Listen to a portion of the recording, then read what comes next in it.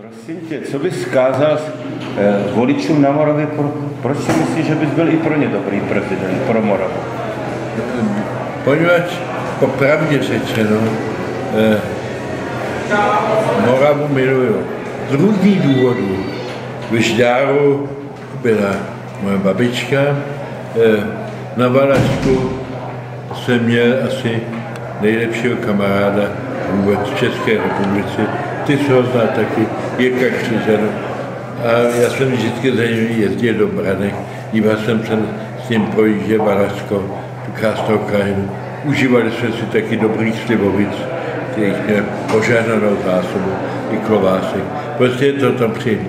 A dole, na tom Slovácku, to je prostě krajina krásná těch bílých Karpat, lidi vstřícní a prostě kdo jednou tam zažije fašák, tak to prostě eh, se do té krajiny a do těch lidí tam zamiluje.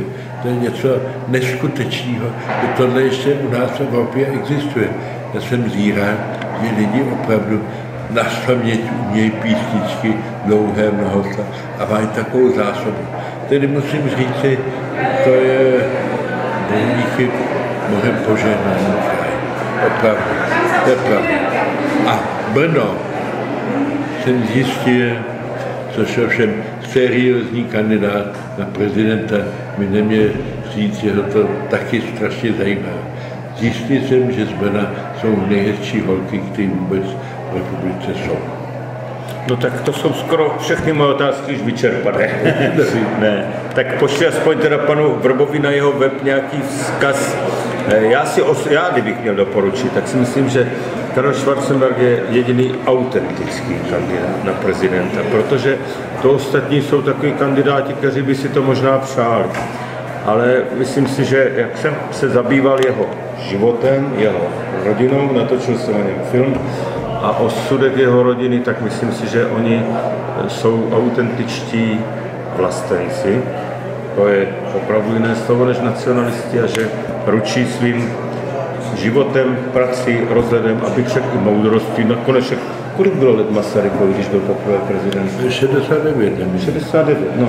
No tak, tak za to trošku předběhl, ale volí se na jaře, tak to bude akorát. Tak co by si vzkázal teda Karle těm voličům na Moravě ještě? Ať nepo, já bych si přál, aby lidi nepodceňovali ten úřad prezidenta. Oni mi, si lidi myslí, jenom je kladeš ven, jenců. Ale prezident republiky má od do Tomáše Gareka Masaryka velký vliv na společnost i na vládu a politický život České republiky. Takže bych prosil, aby každý šel k volbám. Neočekávám, že mě každý bude volit mě. Bude se nad každým těšit.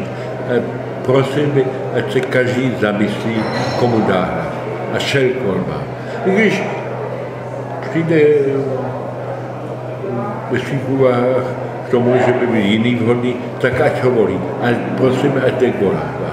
Ať je to opravdu důležitá volba. A poprvé máme možnost, že my, voliči, o tom rozhodujeme a ne eh, stranicí papaláši. To už je něco. To je něco. Zaspívám ještě. Keď jsem se narodil, už jsem byl bohatý, ej takú jsem měl, jak císar pán, ej takú jsem měl, jak císar pán, dírečku do ryti. Ano, to byl pěkný viděli, že kníže Dobré, dírečku do. dáš člověk.